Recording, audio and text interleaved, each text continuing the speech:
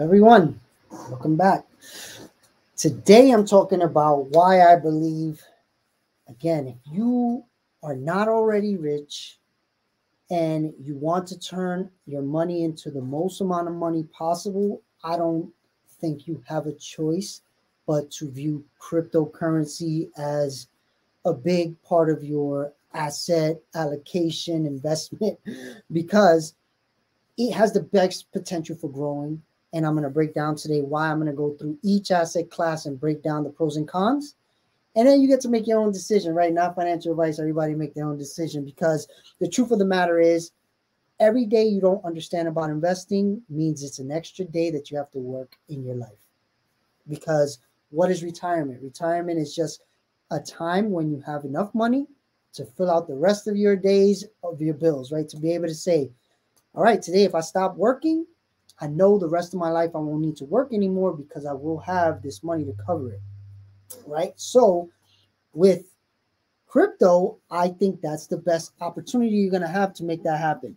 And again, you know, not financial advice, but the truth of the matter is if you invested today, dollar for dollar in each asset class, which do you believe is going to grow the fastest?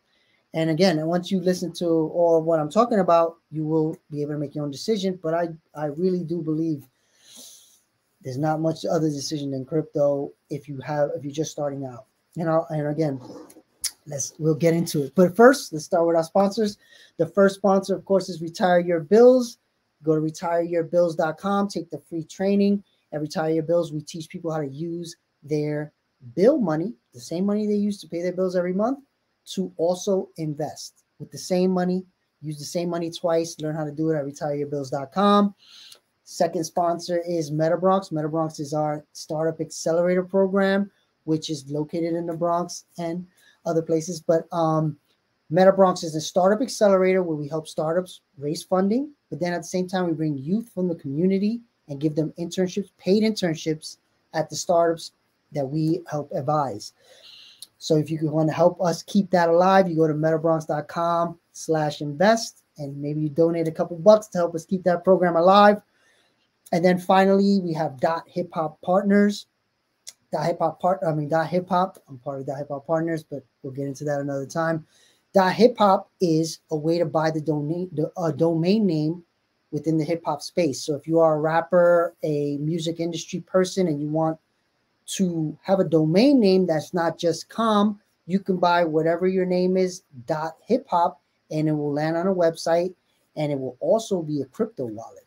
So check that out. Go to get.hiphop to buy your, your dot hip hop name. So now let's get into it. What are the main asset classes? The most understood is and and most used actually is real estate, right? Real estate is where the most millionaires are created. But again, pros and cons, but I'm going to go through all the asset classes that um, people know and some don't know real estate, stock, bonds, precious metals, and crypto, right? So these are the, the main asset classes that people use to grow their wealth. Let's go over each one. Real estate. Everybody knows you buy real estate, you either live in it or you rent it out it grows in value every year. You get tax breaks for, for buying it.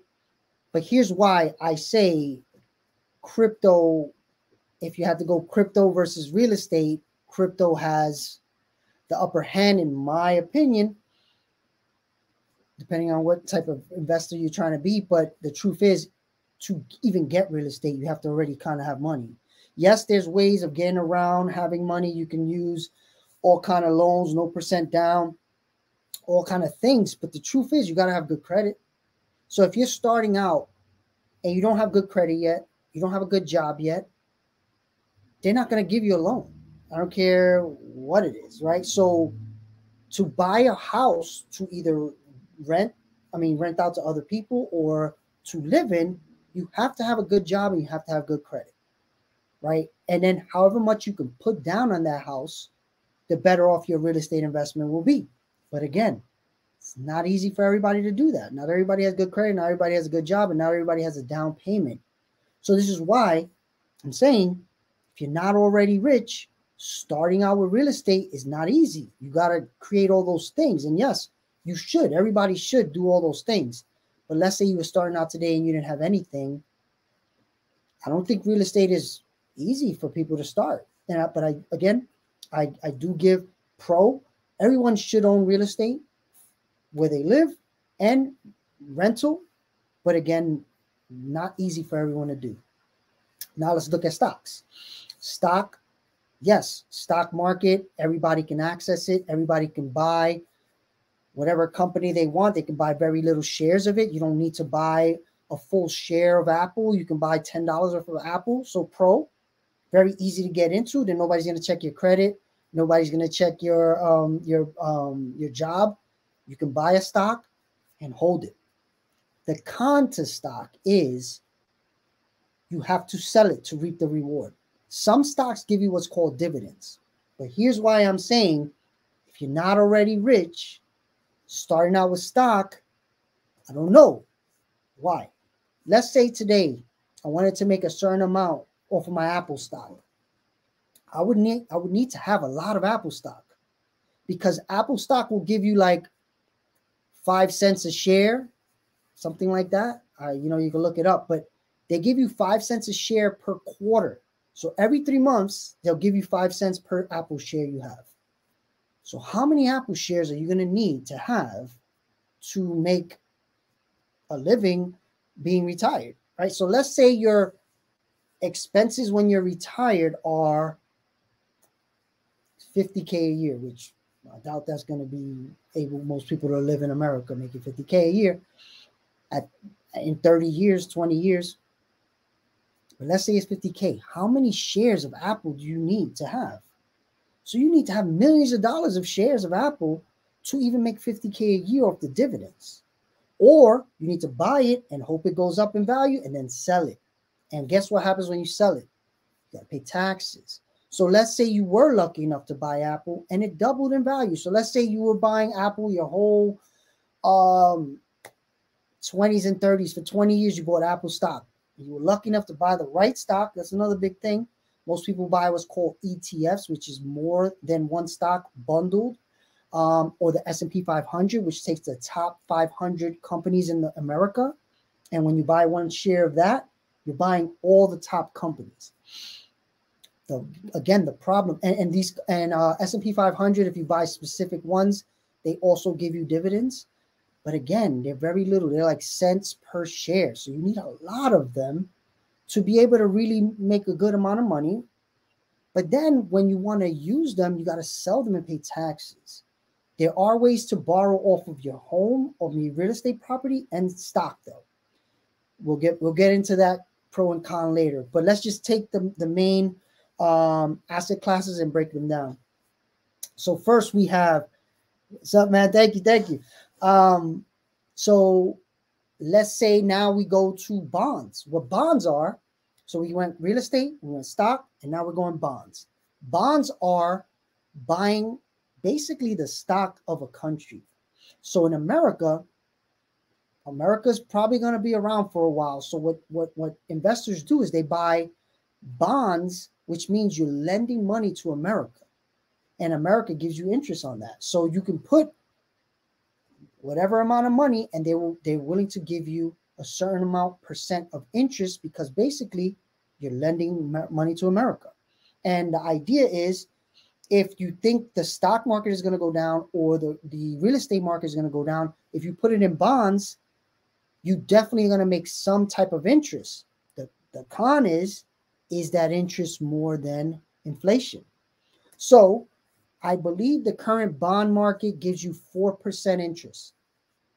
So let's say you put a hundred grand and you got a hundred grand, you put it into bonds. You're gonna make four thousand dollars a year. The problem is they're saying inflation is above four percent. So you're not really gaining. Your your money's going down in value if you're making four percent interest, but the inflation is five, six, seven, eight. I think it's even higher than that, personally. Of course, they're saying a number, but I think it's even higher. So that's the con to, to bonds, right? Like, yeah, there's a there's a no matter what interest. And again, certain bonds in certain countries, they don't work out, right? America, we believe America is going to be around, so it makes sense. But if you bought bonds in like Argentina or something like that, and that government ran out of money, your bonds are screwed, right? So this is where, again, where you buy bonds. We're in America, so luckily, you know, hopefully, there's another thing. It's not guaranteed that America is going to be around forever either, right? So there's always pros and cons. So bonds were like a safe haven for a lot of investors. They put their money in bonds, and a lot of portfolios used to be stocks and bonds. You know, you hear that stocks and bonds because stocks are more risky, more volatile, bonds are more safe. So if you put your money in stocks and bonds, your portfolio is a little safer, right? But I just told you the cons. The cons are if the interest doesn't outweigh the inflation number, you're pretty much losing money, right? And then oh, I don't. I think there's a term of how long the bonds are for too. I don't think you can just buy a bond and sell it tomorrow. I think you got to keep it in there for a certain amount of time. I've never bought them, but um, I have been researching all these different asset classes to to make sure my content is, is right because I know for me what I see is crypto. All right, so I did stocks, I did bonds, I did real estate, I didn't do precious metal. So what's precious metal? Gold, silver, copper. There's different metals you can buy. You'll hear a lot of people say, I only trust gold. I'm buying gold. I buy gold. Pros of gold is gold has been around literally since the beginning of time, right? So it's not going anywhere. It's not going to disappear from the face of the earth. It's been what's called a store of value. So most of the world's money initially was started from gold, right? So we all, we, I mean, our ancestors used to trade by using gold. Um, they made coins, they made bars, but then it became kind of barbaric to be walking around with gold to pay for things, so they turned it into bills. So now we don't really use gold day to day anymore. But still, if you hold gold, it has a value, and you could sell it. You could make jewelry. You could do things with it, right? You could. It, it could. It's part of our cell phones, right? There's different things you could do with gold that give it value, and it holds the value. So if you put again, let's take that 100K number. I think I'm going to take the 100K number between all the asset classes in this conversation to make you think through again the best option to grow. And again, that means you have 100K, which most people don't have 100K to just drop on an investment today. Okay. So with gold, if you bought, let's say, I think gold is like $1,500 uh, um, an ounce or something like that right now. So let's say you bought $100,000 worth of gold now you got these bars. And if you needed to, you could take these bars somewhere and sell them. Let's say they go up to $2,000 instead of 1500 just like a coin would or a stock would. You can go into a place that buys gold and sell it and get that $500 more than you paid. You will owe taxes on that 500 because you made money. Just like with a stock, with anything, anything you make money on, you owe taxes. The con has anybody on this live stream ever seen a place where you can buy gold? Has anybody ever seen somebody sell gold? It's not easily done, right? So I remember right when the pandemic hit, my dad hits me. He's like, We should buy gold. He's like, Can you find out where to buy gold? And I was like, All right. So I'm Googling. I find a place. They shut down because it's COVID. So because it's physical, you have to go somewhere, get it, and store it. And that's a con to me. Like, all right, let's say you have a hundred thousand dollars worth of gold. You're gonna want that in your house, like just sitting. like, we're gonna put like a bar of gold. Uh, uh, I mean, a bunch of bars of gold somewhere in your house. I don't think it's practical for most people. I think yes, rich people it makes sense. You have you have you know safes and and warehouses. There are places that you can pay them to store your gold, and it becomes again like just numbers on a ledger that they say, "Oh, Miguel bought a hundred thousand dollars for gold. It's gonna be in this warehouse for you. Trust me, it's there, and whenever you need it, we'll sell it for you." So I don't really like that. That, that doesn't really sound like a pro to me. Again, I really would like feedback from anybody else. Of course, there's people who believe in, in their asset class and they really focus on it. So to me, precious metals, how often do you see people using precious metals? I get it. That is it is a thing from historical past and there's limited amount of it. But here's another thing. We don't live, we live on um, in a, on one planet, but there's gold in other places in the solar system. They already found an asteroid with gold in it.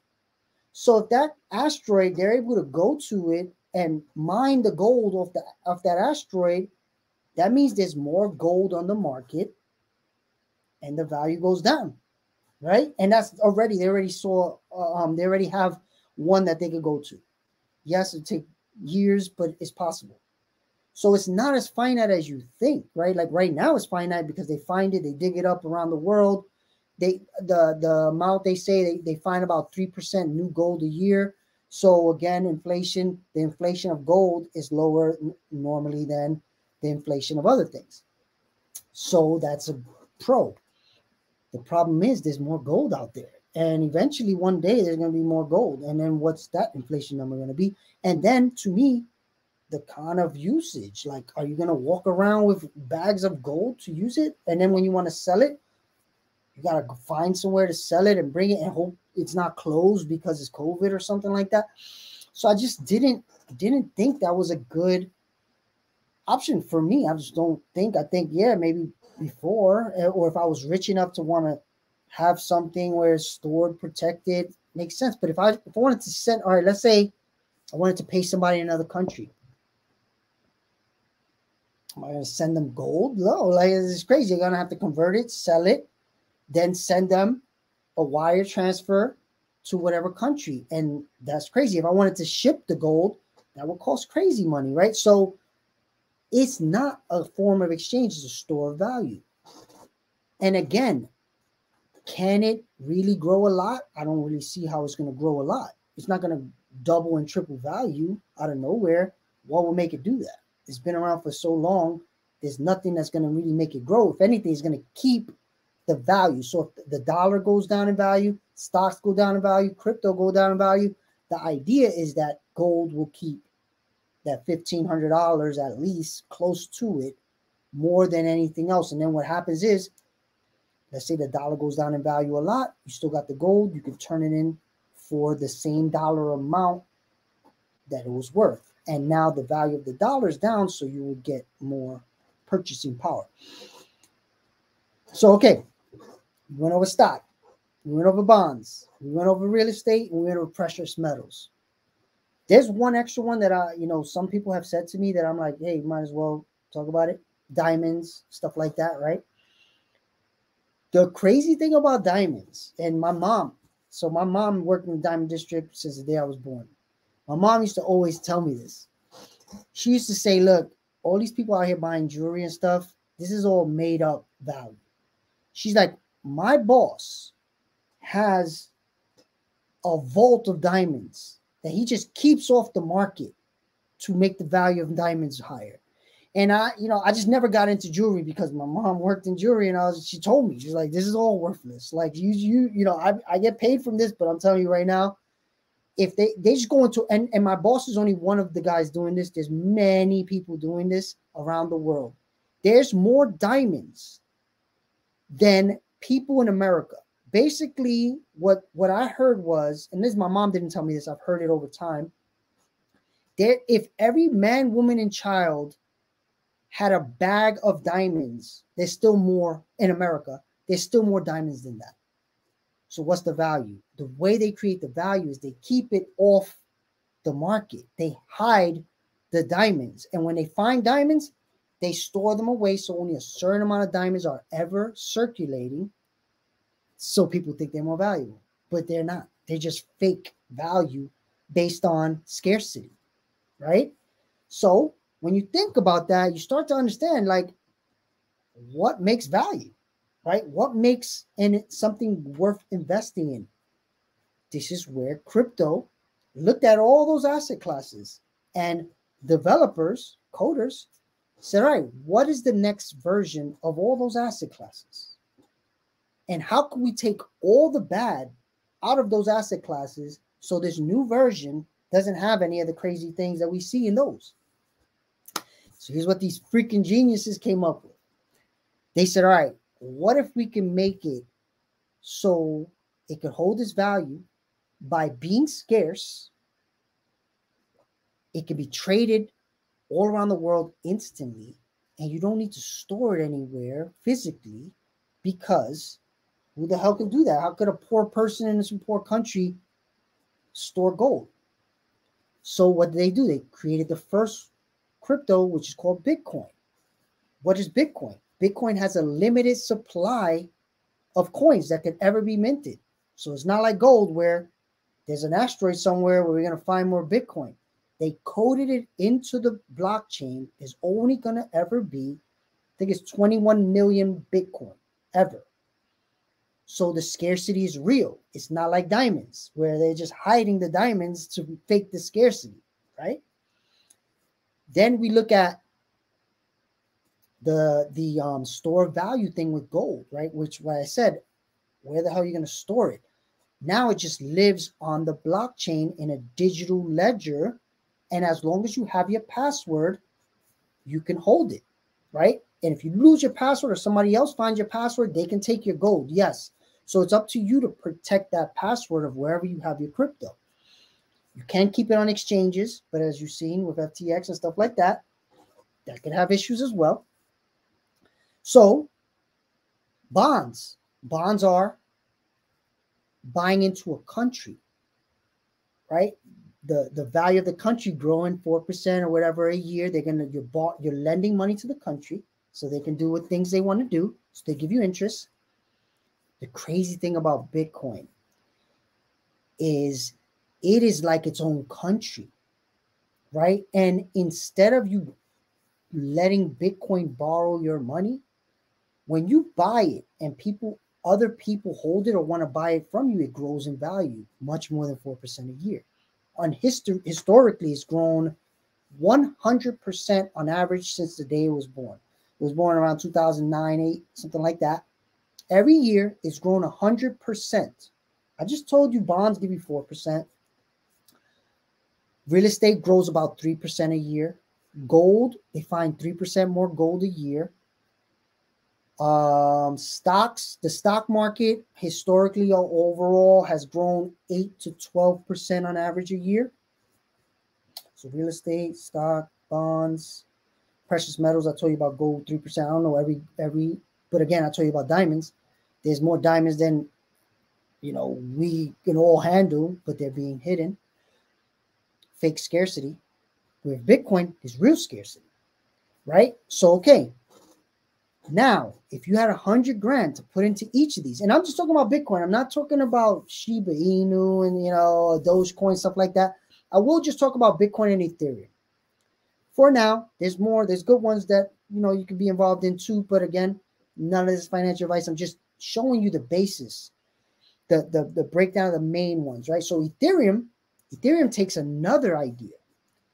It says, what if instead of there's a being a limit what if every time somebody uses Ethereum, some of it disappears? So not only is there a finite supply, it starts to lose the amount of that supply over time based on people using it. So what happens? Real scarcity, right? Because if I don't know how many big I mean Ethereums there are, but whatever. Let's say there's hundred million big um, Ethereum, and every every year of people using it, 1 million disappear. So now over time, there's going to be less and less and less of it. So the more you have, the more valuable it becomes. So that's a different idea than Bitcoin, right? Bitcoin has the scarce set limit. Ethereum has a diminishing over time limit. So it's like kind of running out actually. That's interesting, right? It's different than the the other asset classes I was talking about. And then we, let's take the the an asset class I didn't talk about dollars, the, the currency of your country. I'm in America right now, so I'm talking about dollars. What just happened with dollars? I have somebody who said it on my on one of my um channels. He said, I'd rather have dollars because I know I can use them and they're not going to just disappear on me like crypto. What just happened during the COVID, um, the COVID uh, uh, virus, the government of America printed up 40% new dollars. What does that mean? Think about what I just said with diamonds and gold and stuff like that. Imagine there's a certain amount, and now 40% more just comes online and is out there. That lowers the value of whatever you made 40% of. They just did that with the dollar. So, yeah, you didn't lose it. They didn't take it out of your hands, but they made it disappear in value without taking it out of your hands by printing up 40% more of them. That's like if I told you there's only going to be 20 million Bitcoin, but then later we print up 8 million more Bitcoin. No, actually 40%. Yeah, 8 million more Bitcoin. And you thought it was going to keep its value because we only have 20 million of them. And now 8 million more hit the market. That's going to lower the value of your Bitcoin. The, the dollar just did that. And what's happening is countries all around the world are starting to feel that impact. And if you look, look up the news of what's happening in Lebanon. In Lebanon, the money's value is shrinking so fast that people are trying to get into the banks. The banks won't let them in. So they're robbing the banks for their own money so they could turn it into something else other than that dollar because they want to take it away from the value that's shrinking, put it into something else gold, crypto, real estate. I don't know. It depends on what it is because you can't just buy a real estate property like this if you live in Lebanon. You don't want real estate everywhere. Real estate makes sense in certain places. That's another con to real estate. I'll give you a mansion in uh, a desert. Would you want it? You know, of course not. Right. So, real estate also has a location that's a con. It could be a pro, but it's also a con because what happens if in that in that location you have that real estate, they raise the taxes on you.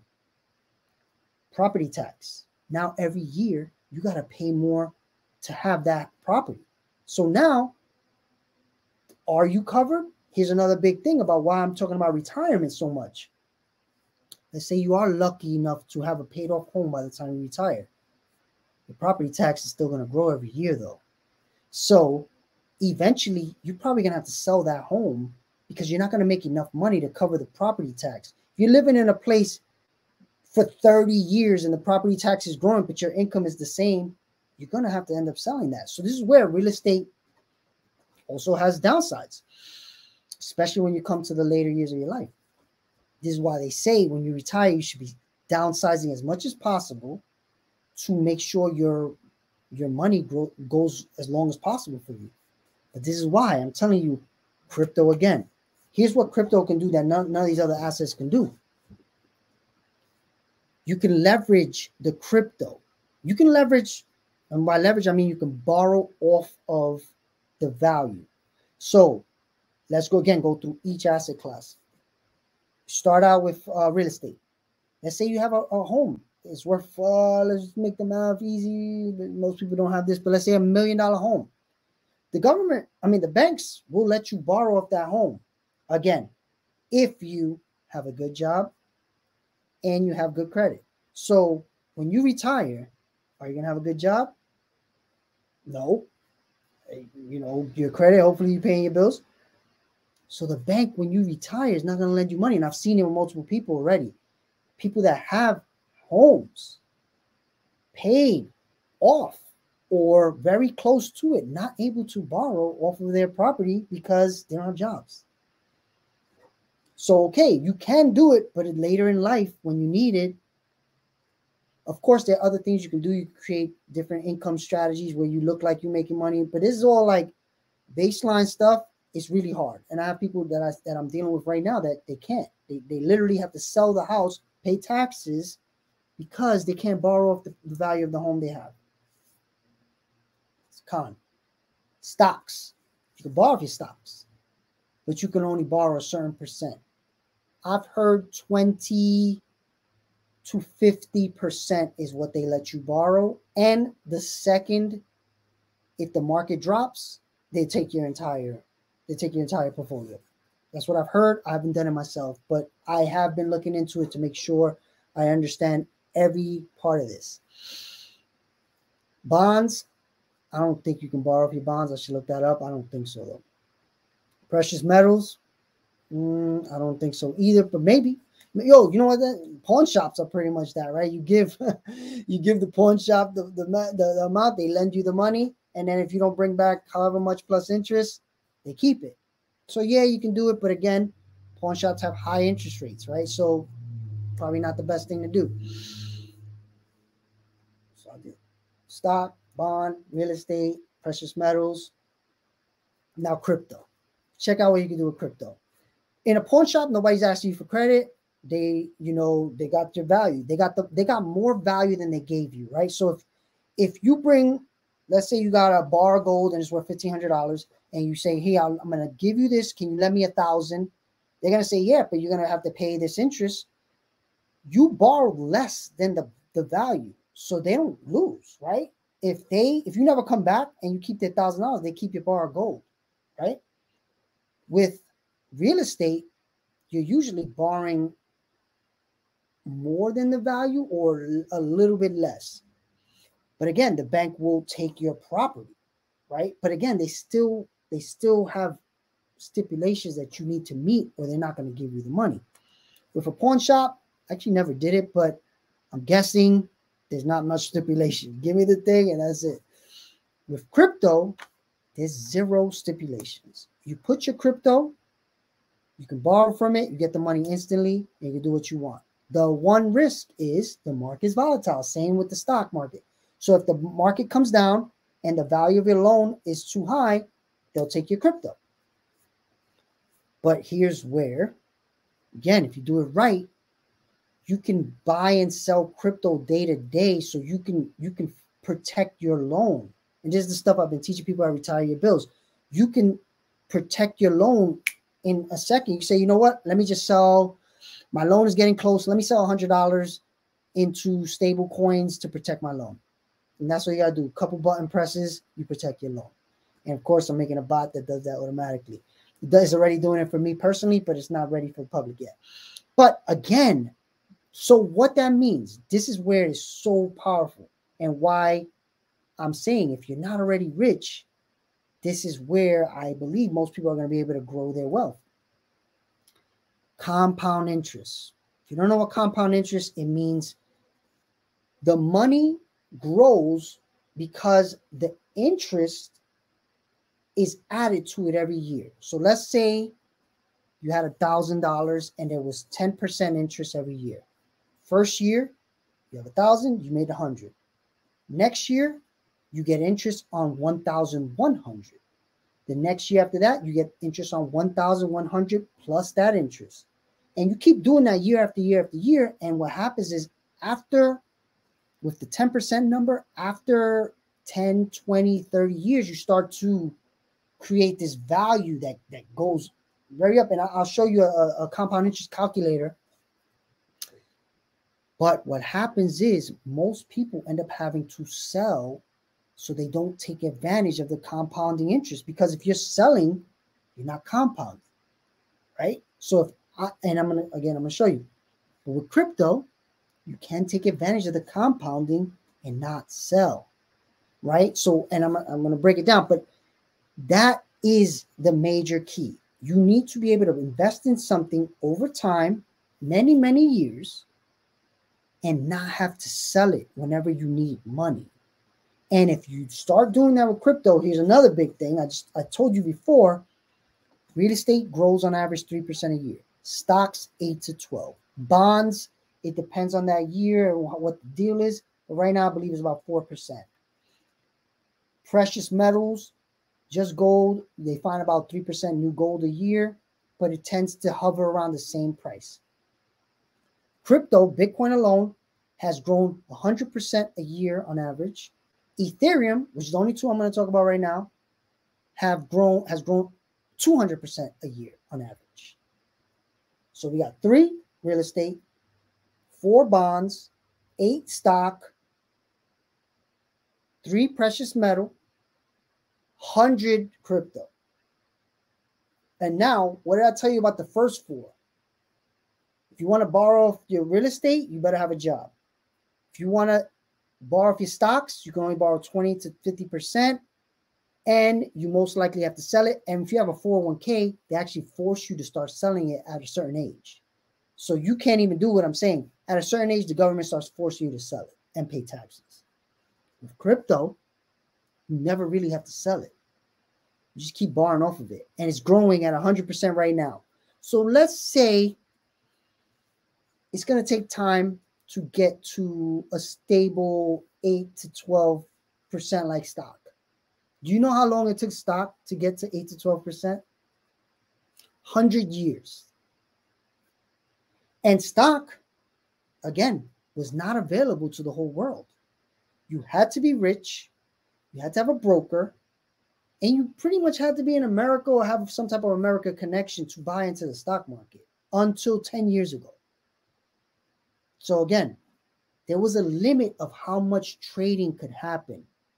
Crypto, everyone around the world, all 8 billion people can buy and sell crypto 24 hours a day. Do you not think eventually more people will get into that? Probably. I do. I definitely think it's going to happen. Again, who knows how fast? Even if it takes 20 years, though, the more you put in right now, once all of those people put money in, it makes the value of yours higher, right? So, again, if you think about real estate, if I have the best real estate in the world, Manhattan, Broadway, Manhattan, Times Square, uh, Wall Street. How hard is it to get that real estate? You need millions and millions of dollars, amazing credit, right? Like it's crazy. Let's say you wanted to do that though. It's available, but you need to have that money. Most people don't, right?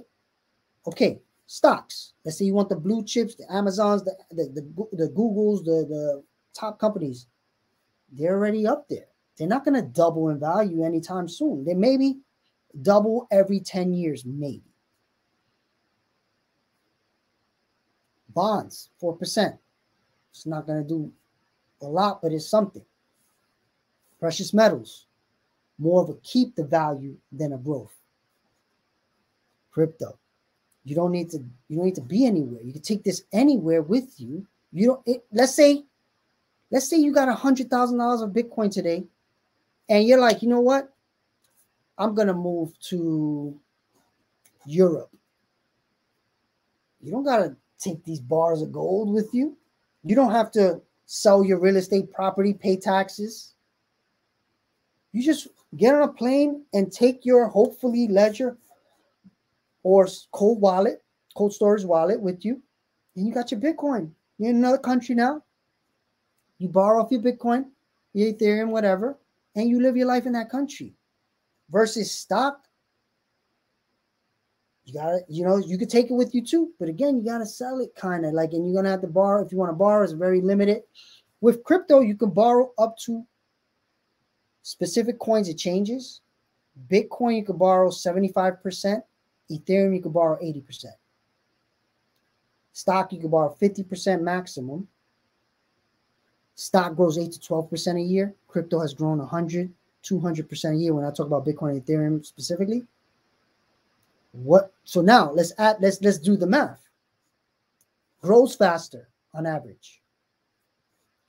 More flexible, more accessible to everybody on the planet.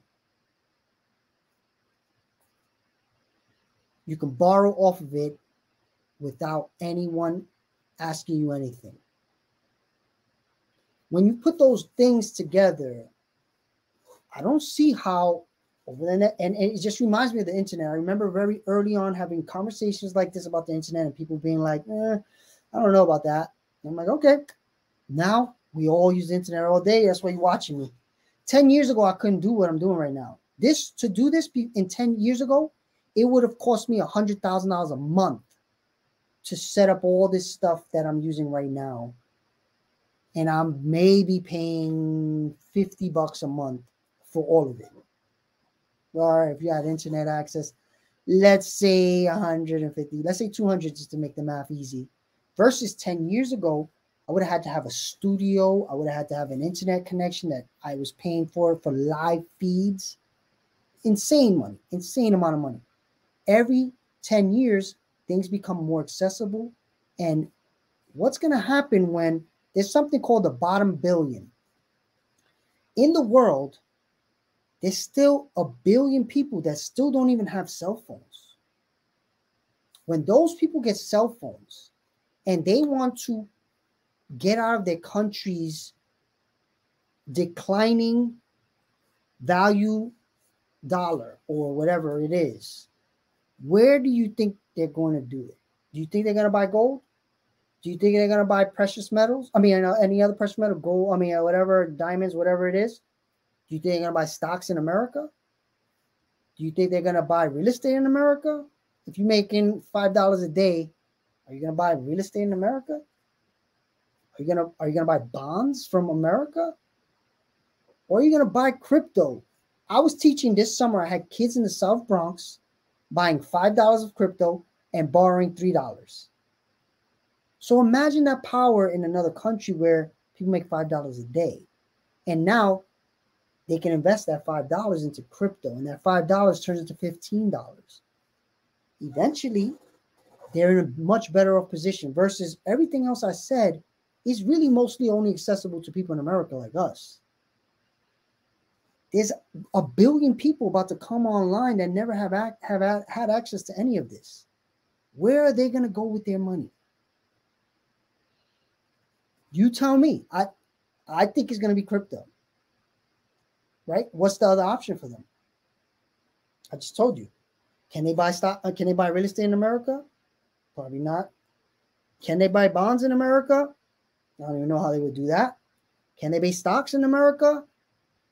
Yeah, I'm, I don't know if there's a Robinhood in poor country A, B, or C. Maybe precious metals. This is what right now they do in, in poor countries. So in India, for, for instance, when they make money, they instantly turn it into gold over there because they want out of their currency because they know the currency goes down in value. Another big thing I, I realized a couple days ago, I go to buy something and I'm like, damn, I remember when that used to cost a lot less. Like I'm talking about ridiculously less, right? Like pack of gum. Actually, I think it was a Halls I, I bought a Halls and it was two dollars. And I was like, yo, I remember when that was like 50 cents. Right. But again, why do you think that happens? And and what, what it hit me is it's supposed to always go up. Why? Because inflation is always going to make things cost more money over time. So stop complaining about inflation because it's there, it's built into the system on purpose to get people to spend money what rich people do is they take it out of the value dropping of the dollar and they put it into things that go up in value, like stock, real estate, bonds, right? Instead of being in a thing that's going down, it's going up. Whatever percent that is, is up to you. So, like I said, real estate is like this, uh, bonds is like this, stocks are like this, cryptos like this, right? Precious metals are like this. Okay. But now, if you could compound that which one do you want to compound? You want to compound here, here, here, or here, right? And this is where crypto has the highest potential. And we still haven't even seen most of the people get into it yet. All this trading has been with less than 5% of the global population. And literally every single person in the globe is going to have access to crypto and be able to buy it in the next 10 to 20 years. Again, Everybody does have access to gold, but you tell me, go find a place to buy gold. I want to hear the comments. Tell me what your journey was to go find and buy gold. Good luck with that.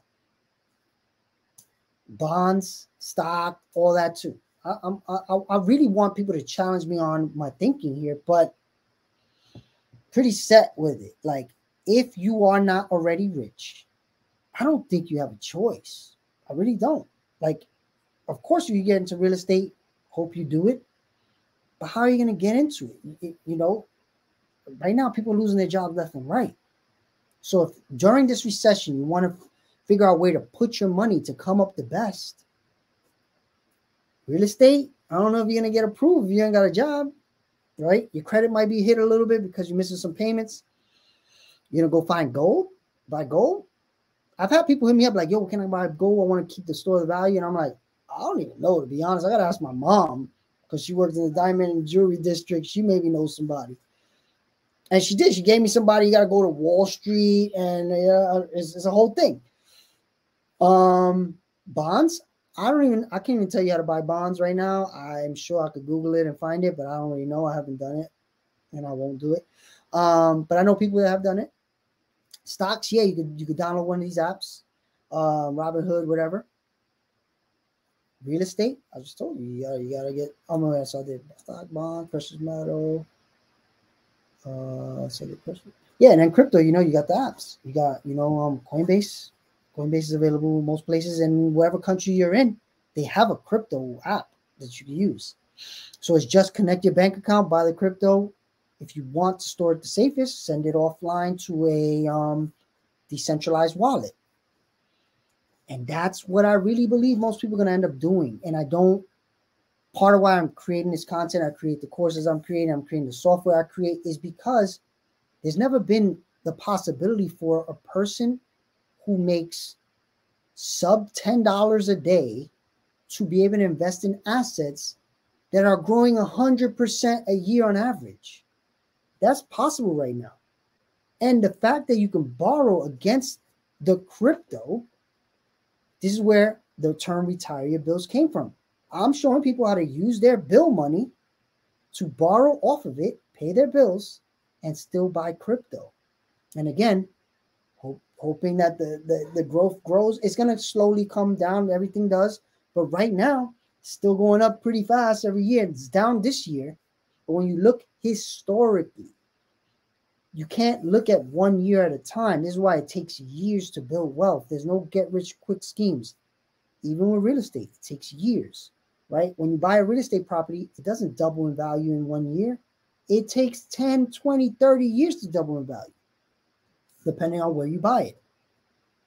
Right? So you gotta you gotta understand all asset classes and start coming up with your own strategy of how you plan on making the money you make grow for you. And this is why I'm saying I really don't think you got a choice. Crypto is going to be the best place, even if you just take it to do the build thing and then you use the rest of your money to put it in stocks. Because, yes, there are risks. Let's let's talk of the risk because I know sometimes I go too much on the pros. I haven't really told you any risk on crypto. The cons on crypto is the market drops very fast sometimes right? We've seen it, you know, whatever. Other con, it's not easy. You can't just wake up tomorrow and understand all this. You got to put in some time to understand. You got to educate yourself. That's a challenge. Some people don't want to do that. They don't want to spend that time. Nah, you know what? That's not for me. That's for people like you. Okay, you work every day. What do you think? You're in the game with me. You just don't know how the rules are. You don't know the rules. You're working for a value that keeps going down. So if you don't put that money somewhere else, you're never going to be able to retire. You're going to have to work to the day you die. And I watched this prime this um this documentary from uh, I think it was uh, channel 13. It was talking to people who were not even that old. Like I'm talking about like 30s, early 30s, and they were talking about their retirement plans and even they were saying, look, I'm doing the calculation. I don't even know how I'm going to retire. I don't really see how I'm going to retire. And this is a 30 year old, right? So if you're younger than 30, yeah, you have opportunity to, to get into things that may give you the ability to compound. Let's get back to the, to the cons of crypto. The government does not like crypto. Guess why? it's doing all the things that it that the government does not like, right? Because the government has this system that helps the government achieve its goals. Crypto is outside of that system, and it's outside of every government's system. So governments are not going to like that, right? They want you to have to deal with their rules and their currencies. The fact that there's this new thing that operates in the cold world and there's nobody that can stop it they're not really happy about that. So they're going to regulate it. There's not many rules yet. So, yes, rules can come down later that end up changing the way this works. But that's the gamble, right? At the end of the day, it's early. So when those rules come into play and everybody's finally not worried and they put their money in, who's going to benefit? The people that put in now while it was risky. You know, that's how it works. When you invest in something, if you invest during the risky time and it works, you get the best reward. High risk, high reward. So it's risky because there's no government um, rules yet. There's some, but there's not enough. It is a technical hurdle to be able to move it around. Yes, it's not, you know, holding gold, but it's not super easy yet. It's not that hard, but it's not easy. Price fluctuation. Because there's so little bit of money in it still, there's big players that could shift the price very easily because to them, a trillion dollars is nothing, a billion dollars is nothing. They could buy and sell to make the price come down and scare people into selling, all kind of stuff, right? So that's the real risk of crypto, right? Like, I do not see the risk of it ever going away, though, because what would it have? What would have to happen for it to go away? We would just have to stop using it because it's not going to disappear because it, it's on code on millions of computers across the world. The internet will have to go out across the whole entire world for crypto to disappear. So is that a risk? No. I, I, I mean, yes, the world could end, but then you got you got bigger problems than your, your money, right?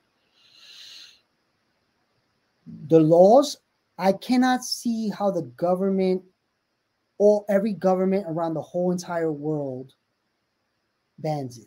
There's already countries that are using it as legal tender. El Salvador, there's more signing up every day.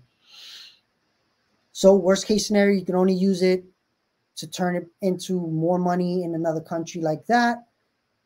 Still, it's going to be worth more than it was before you bought it, right? Okay. Um, what else? Also, oh, any cons? Anybody can think of any cons? Let me know. Any comment anywhere, DM anything. But we think about the main cons. The, the price goes up and down, but over time it goes up. They say nobody has ever lost money holding Bitcoin and Ethereum for less than four or five years. I think it's four years.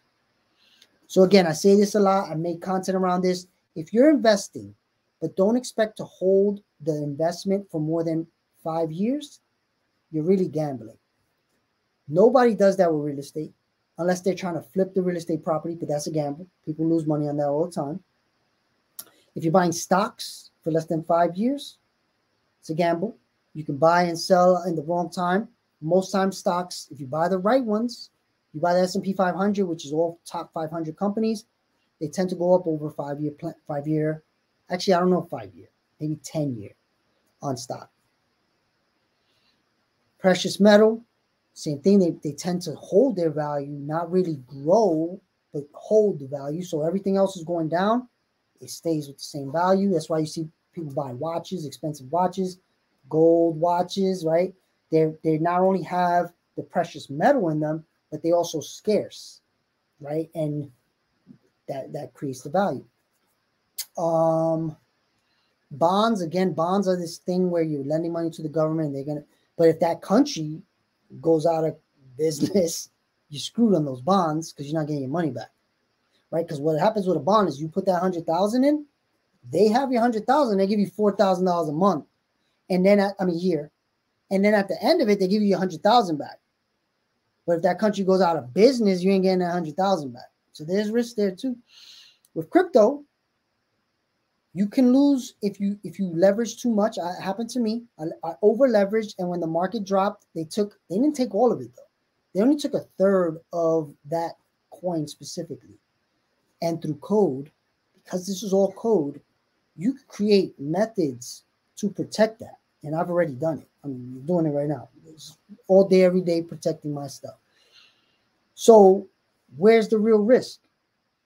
That the world doesn't use this already. Only 5%, less than 5% of the world is using it.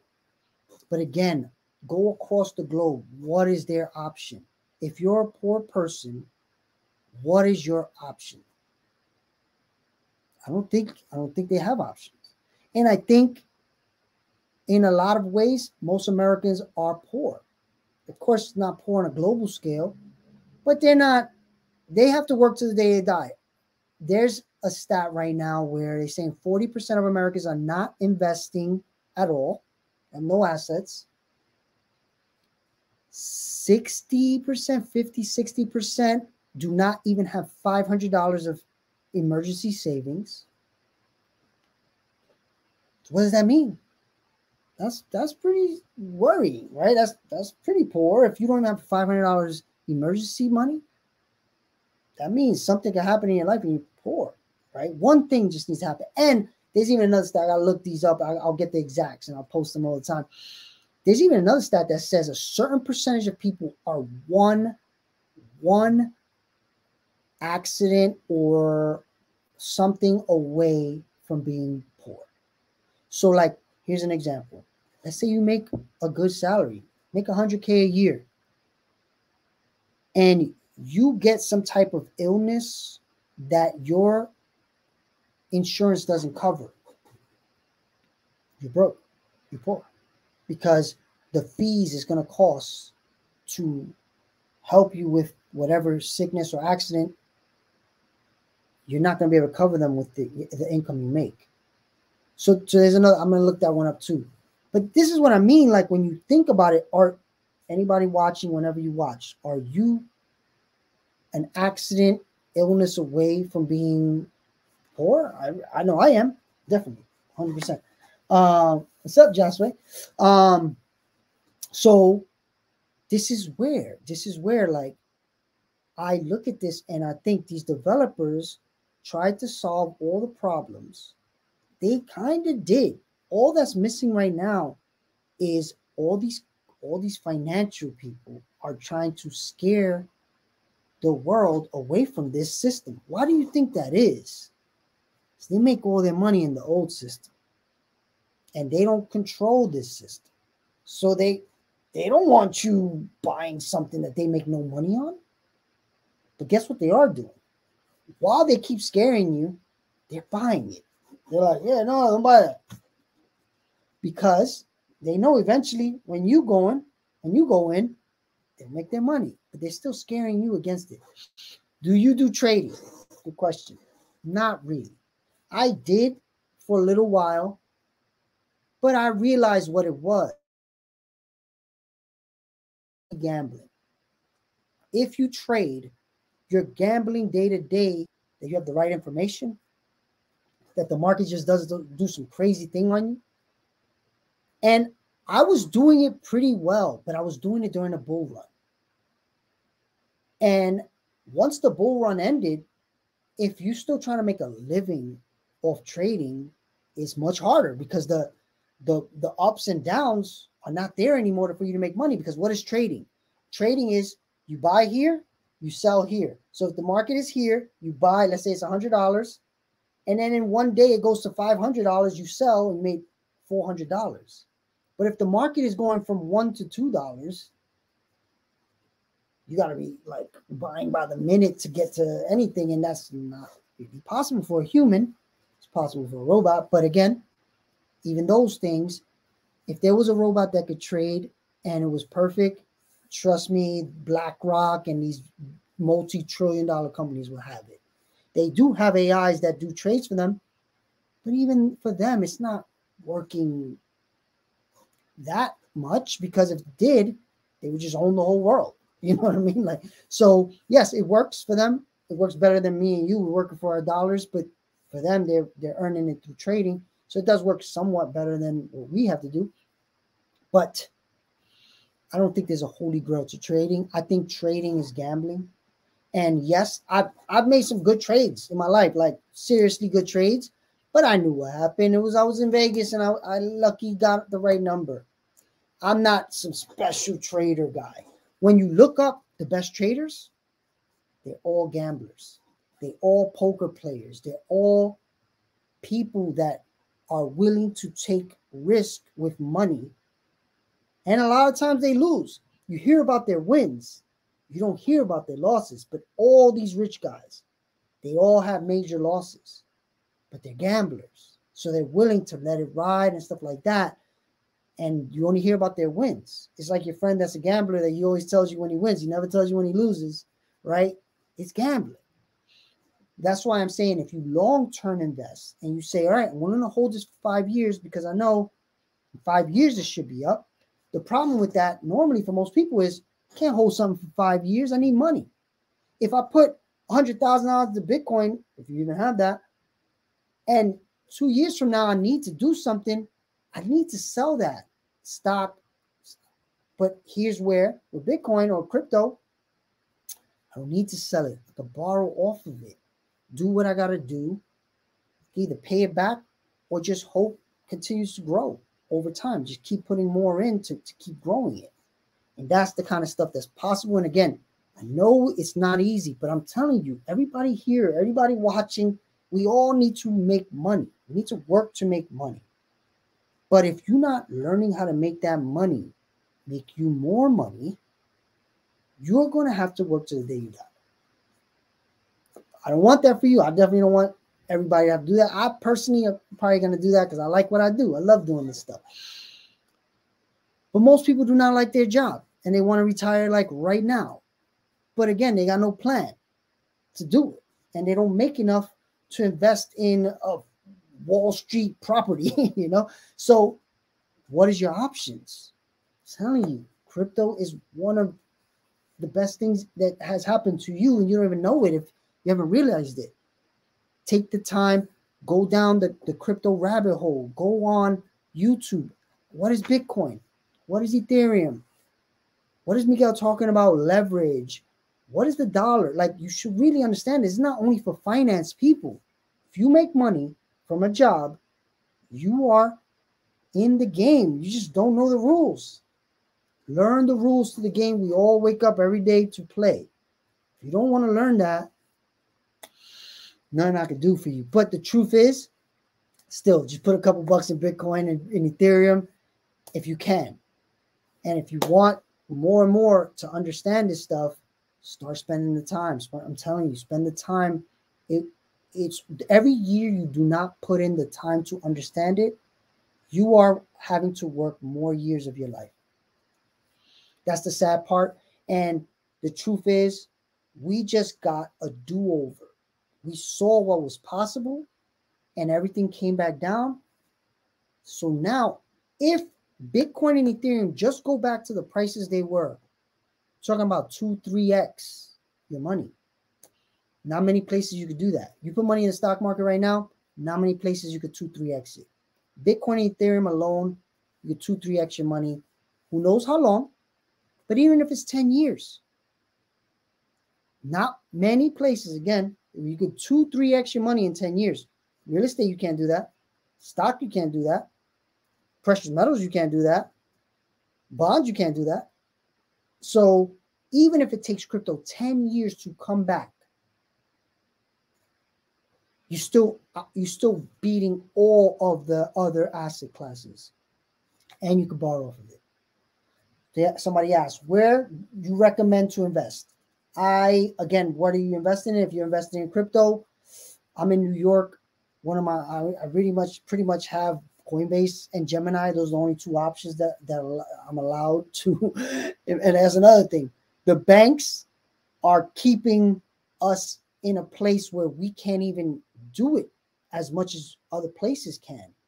And that should give you a little bit of a warning of what, why, right? Like people don't like competition.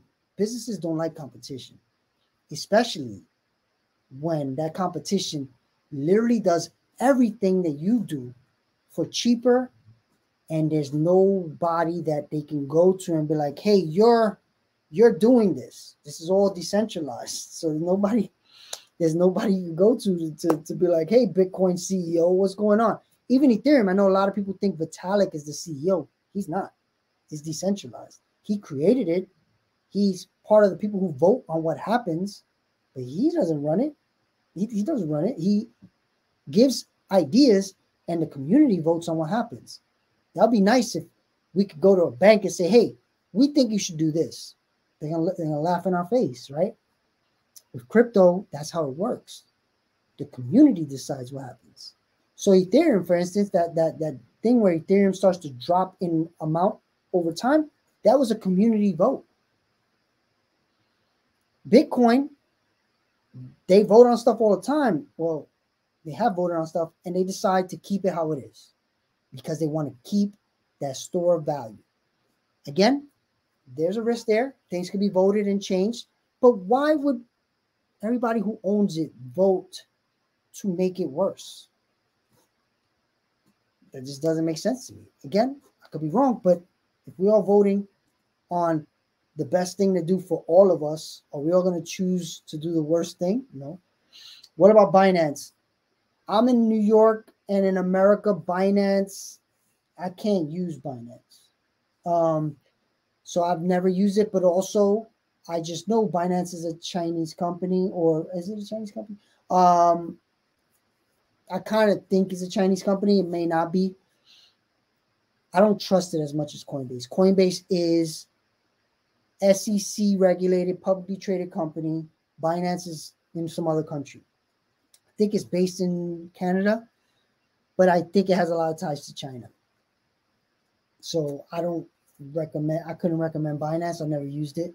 Um, I'm more of a Coinbase. Send it off into decentralized finance world, and I'd rather work on decentralized exchanges like Uniswap, QuickSwap.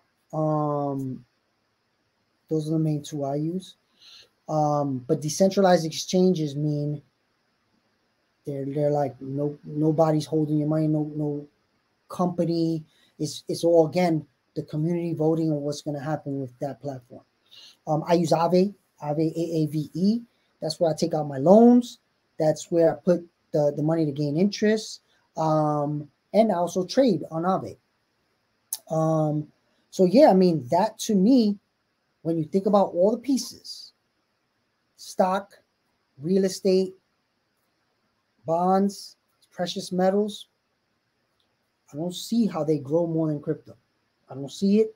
And when it comes time to use them for something else, you're most likely going to have to sell it and pay taxes. Crypto, you can borrow off of it, not pay taxes, and continue compounding the value. So when you add those things up, I don't really see a better option. Hopefully, you take me up on that and you start paying attention and looking. And sign up for retireyourbills.com. Go to retireyourbills.com. I'm going to keep the content coming out around this. I'm going to send an email all the time about what's going on. Um, the first retire your bills cohort has is going to start next week. Um, I'll, I'll keep you guys posted on when the next one will start if you want to join it. Uh, but it's an amazing time to start understanding this stuff. I'm telling you, I don't think we're gonna get another. I think this is, this is how I'll end it. Every generation has their thing, and if you look at the richest people, they all jumped on the new thing of their generation. So in the 1920s, 1900s, it was the stock market. Then it became real estate. Real estate and stock market similar time-ish around. Then the stock market really exploded around a certain time in the 80s because the technology boom, right? If you miss those times, this crypto thing I believe is our generation's thing. It's up to you to figure that out and decide if you believe that. But do you really believe in the 1950s you could buy a house for, for 12 grand and now it's worth a million? You're gonna buy this million dollar home now and think it's gonna turn into 12 million? You gotta have that million. Back then, 12 grand was nothing. They could get the 12 grand, right? Now it's very hard to buy things like that. It's hard to buy the stocks because they're they're high now. Amazon is a thousand dollars a share. Apple, you know, they, they do the splits, but it's it's expensive. Real estate is expensive. Crypto, when you hit 30,000 for Bitcoin or 25 or whatever it is, you're like, wow, that's expensive. Ethereum, wow, that's expensive. But when you think about the fact that less than 5% of the world owns it and literally every person in the world is can own it right now they just don't understand it and once that bottom billion gets on the internet bottom billions i think actually think it's 2 billion people that don't have access to technology yet what is the asset they most likely to get into? I think it's crypto, right? So now think about that 1500 per coin. When all those people start buying it, the value should go up. Why? Because Bitcoin has a finite amount and Ethereum's value goes down every time it's used. Guess what it's used on? Buying things, NFTs, which many people believe is going to be the biggest marketplace on the planet. Right? So, what, what am I saying here? People all around the world are going to trade things on Ethereum, and every time they use Ethereum, it goes down in value. I mean, it goes down in amount that can be used. Should bring the price up. Again, do your own research, but I'm telling you, I'm doing research on every asset class. I do not see one that beats crypto. I don't see it. I want I want the fight.